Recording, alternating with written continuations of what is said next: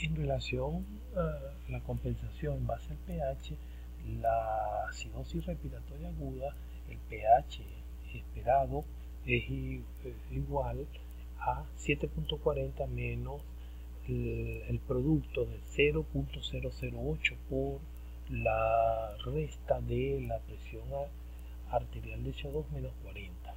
En una situación aguda, por cada milímetro de que incrementa el CO2 se produce un cambio en el pH de 0,008 unidades. En acidosis respiratoria crónica, el pH esperado es igual a 740 menos el producto de 0,003 por la resta de la presión arterial de CO2 menos 40.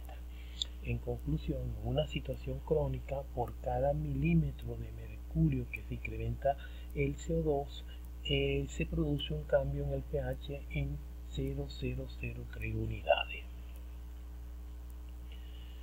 Eh, vamos a un ejemplo, acidosis respiratoria en un hombre de 70 años con historia de enfermedad broncopulmonar obstructiva crónica se presenta a urgencia con disnea, empeoramiento de la clase funcional y los gases arteriales muestran un pH 724, un bicarbonato en 27, un CO2 en 60, una saturación en 89 y una presión arterial de oxígeno de 75.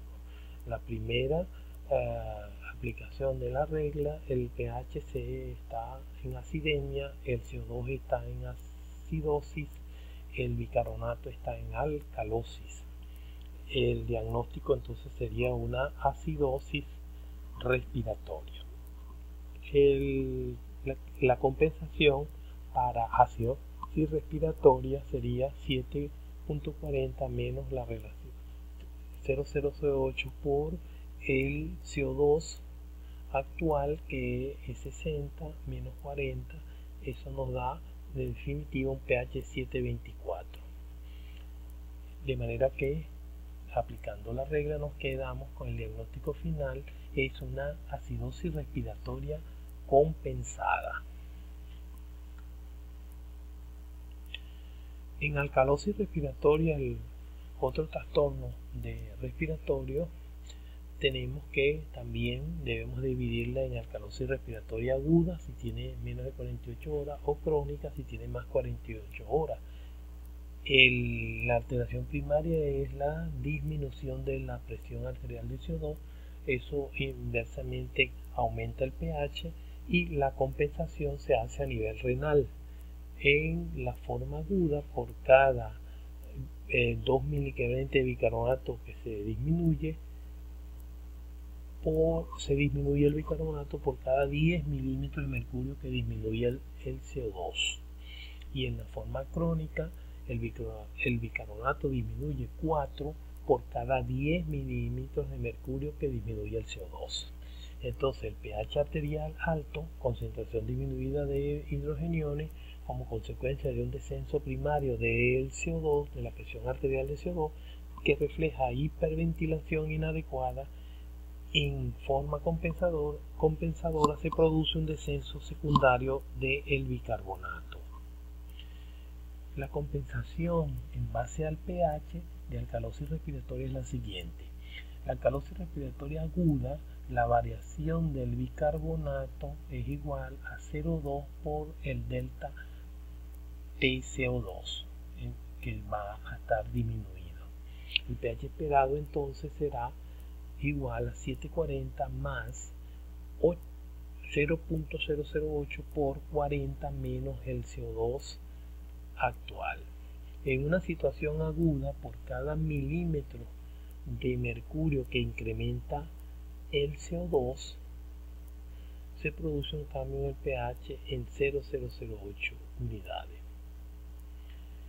En alcalosis respiratoria crónica, la variación o delta bicarbonato es igual a 0.4 por el delta presión parcial de CO2 en disminución.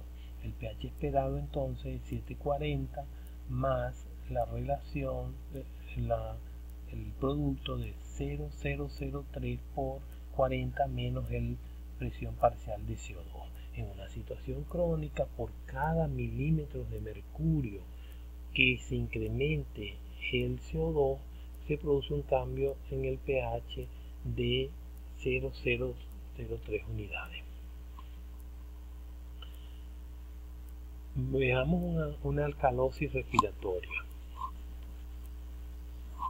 El estudiante de medicina femenina de 19 años que ingresa a la sala de urgencia con un cuadro clínico de 60 minutos de evolución por taquignea, temblor, parestesia en cara, miembro superior después de una pelea con el novio.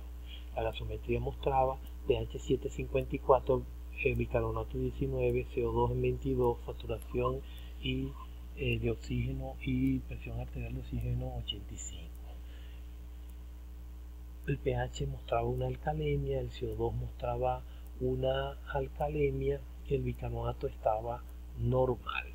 En la condición entonces una alcalosis respiratoria. Aplicamos los factores de, de compensación, el pH debería estar en 7.40 más 0.0008 por 40 menos el CO2 que estaba en 22. Eso nos da un pH 754. De manera que la conclusión eh, es una alcalosis respiratoria compensada. Los trastornos mixtos, ácido base, se producen cuando hay acidosis, alcalosis presente, pero de diferente origen del buffer, es decir, un trastorno debe ser respiratorio y otro metabólico. El pH es en la mayoría de los casos normal. Imposible tener acidosis respiratoria y alcalosis respiratoria a la vez. Trastornos mitos, el pH es normal, pero la alteración primaria, en este caso acidosis respiratoria, produce un aumento de la presión arterial de CO2. El pH está normal por la alteración compensadora del bicarbonato y que está eh, eh, compensada en exceso produciendo alcalosis metabólica. En una alcalosis respiratoria el CO2 es la alteración primaria, el pH está normal, el bicarbonato baja, pero además hay una acidosis metabólica agregada. Ningún mecanismo compensador logra normalizar el pH, por lo tanto, un pH normal con alteración del el bicarbonato y el CO2 siempre se debe pensar en un trastorno mixto. En la PCO2 normal más bicarbonato normal, pero brecha aniónica elevada, hace pensar en una acidosis metabólica de brecha aniónica elevada, delta GAT y alcadosis metabólica.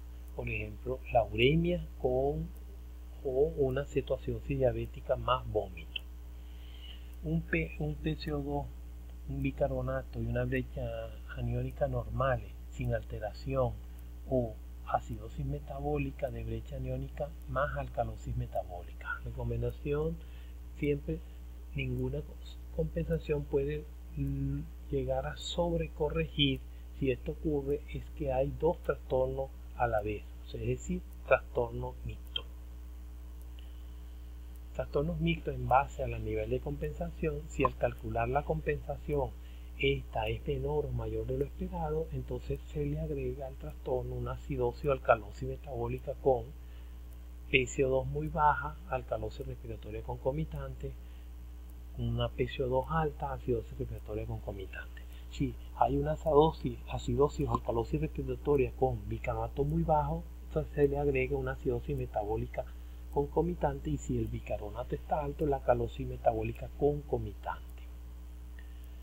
Ejemplo de trastornos mixtos por infra o sobrecompensación. Este es un paciente de 44 años de edad acude a consulta por cuadro diarreico de dos días de evolución, 7 episodios al día, a la enfermedad actual, al examen físico se aprecian datos de deshidratación el electrolito sérico tiene sodio en 134, potasio 2.9, cloro en 108, el BUN 31 y la creatinina en 1.5. La gasometría mostró 7.2 de pH, CO2 en 25, bicarbonato en 10, presión arterial de oxígeno en 93. lo primero que aplicamos entonces la regla del pH, vemos que está acidótico, el CO2 está alcalótico, alcalosis y en alcalosis y el bicarbonato está en acidosis. Diagnóstico entonces se trata de una acidosis metabólica. Vamos a aplicar la, eh, regla de Winter, la compensación, la variación del CO2 debe ser 1.5 por bicarbonato más 8 más o menos 2 se aplica, se sustituye y se observa que el CO2 debe estar entre 21 y 25. La acidosis metabólica está compensada por el pulmón. Ahora, como es una acidosis metabólica, debemos calcular además el anión GAT. El anión GAT de este paciente da 16, anión GAT normal. De manera que la conclusión con una acidosis metabólica más alcalosis respiratoria agregada en el caso de que el CO2 esté menos de 21. Si el CO2 está más de 25, entonces la conclusión sería una acidosis metabólica más acidosis respiratoria añadida.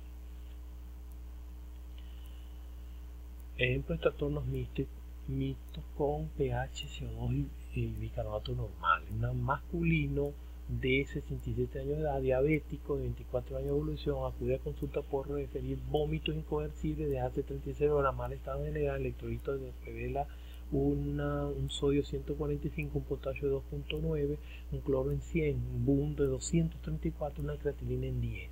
La gasometría mostraba 740 de pH, CO2 en 40, bicarbonato en 20 y el, el oxígeno en 94 el pH está normal, el CO2 está normal y el bicarbonato está normal. Diagnóstico gasométricamente aparente normal.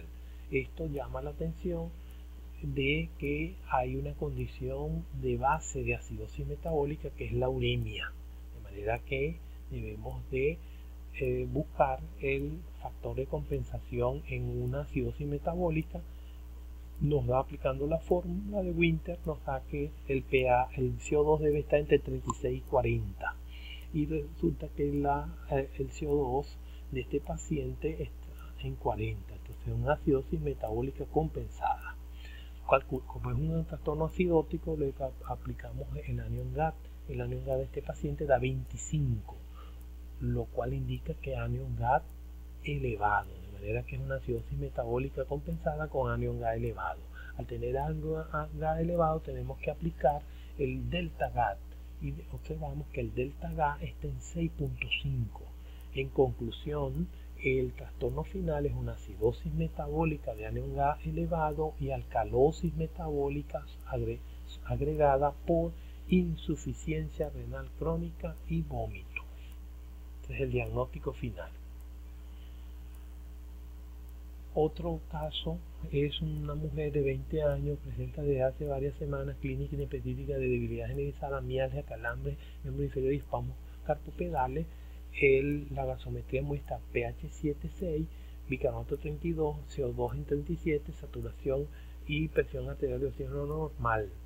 La química sanguínea muestra una urea 33, creatinina 0,7 y glucosa normal electrolito sérico 141 de sodio, potasio en 2.2, cloro en 104, calcio en, 10.4 y fósforo 3.8.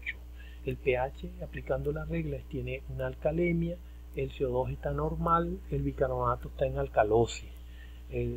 pasamos a, el diagnóstico sería una alcalosis metabólica.